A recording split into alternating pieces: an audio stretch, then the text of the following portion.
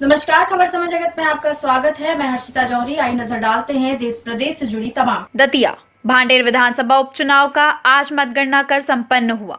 19वें round में हुई मतगणना के दौरान लगातार देखने में आ रहा था कि कभी कांग्रेस के फूल सिंह आगे निकल रहे हैं तो कभी भाजपा की रक्षा सरोनिया।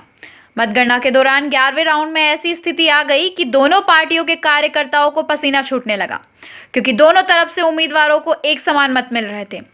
मतगणना कार्य में सतत निगरानी करने के लिए जिला निर्वाचन अधिकारी और कलेक्टर बी. विजय दत्त उनके साथ ही पुलिस अधीक्षक गुरुकरण सिंह, पुलिस बल के साथ लगातार निगरानी करते नज़र आए। मतगणना के प्रत्येक राउंड में कोई नहीं इस बात का अंदाज़ा लगा सका कि कौन सा प्रत्याशी भारी बहुमत से जीतेगा। मतगणना के दौरान भाजपा की ओर से युवा मोर्चा, प्रदेश पदाधिकारी सुकर्ण मिश्रा और कांग्रेस की ओर से जिला अध्यक्ष नाहर सिंह यादव लगातार निगरानी कर रहे थे। उन्नीसवें राउंड की गणना के पश्चात इक्यावन मतों से जीतने वाली भाजपा की रक्षा सरोनिया को निर्वाचन अधिकारी द्वारा जीत का प्रमाण पत्र दिया गया। इसका मतदान बड़े शांतिपूर्ण और सद्भाव से संपन्न हुआ।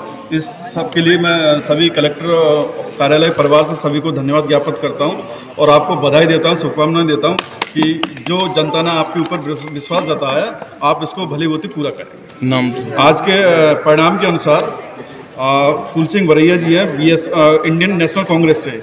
इनको मिले हैं टोटल छप्पन हज़ार आठ सौ बयासी मत। जी। महेंद्र बौद्ध बहुजन समाज पार्टी से इनको मिले हैं सात हज़ार पचपन मत। रक्षा संतराम सरोनिया भारतीय जनता पार्टी से इनको मिले हैं सत्तावन हज़ार तैंतालीस मत। अशोक पवार वंशकार समता समाधान पार्टी से इनको मिले हैं सात सौ तिरासी मत। रामदयाल प्रभाकर इनको मिले एक सौ चौहत्तर मत। उत्तम सिंह, निर्दलीय उम्मीदवार, इनको मिले हैं निन्यानवे मत। उदल सिंह ठाकुर, खंगार, निर्दलीय उम्मीदवार, इनको मिले हैं टोटल 111 मत। चंद्रवान सिंह, निर्दलीय उम्मीदवार, इनको मिले 148 मत। चंद्रशेखर, निर्दलीय उम्मीदवार, इनको मिले हैं 156 मत। जगन्नाथ प्रसाद, निर्दलीय उम्मीदवार, इनको मिले एक मत। मोहर सिंह, निर्दलीय उम्मीदवार, इनको मिले 360 मत।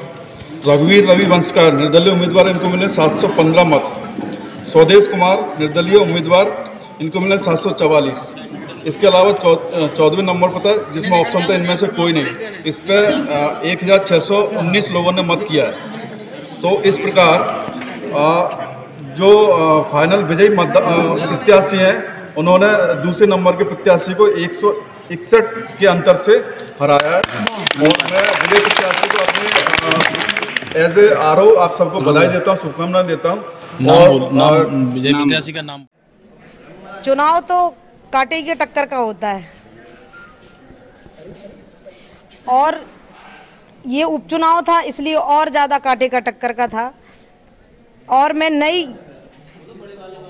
परिवार में आई थी तो सब लोगों को लग रहा था कि मैंने पहले कुछ नहीं कर पाया है तो शायद इस बार नहीं पर मुझे जनता का पूरा आशीर्वाद मिला, पूरा विश्वास मिला और मेरे साथ बीजेपी के सारे नेता छोटे बड़े मेरे साथ खड़े रहे। नरोत्तम मिश्रा जी, सीएम साहब, शिवराज सिंह चौहान जी और सबसे ज़्यादा महाराज सिंधिया जी, जो उन्होंने मेरे लिए तीन चार सभाएँ दी और यहाँ दादा नरोत्तम मिश्रा जी ने मेरे लिए जी जान लगा दी, इसलिए मुझे आज मैं यहाँ खड़ी हूँ कि मुझे जीत मिली है। किसकी जीत मानती है आप ये?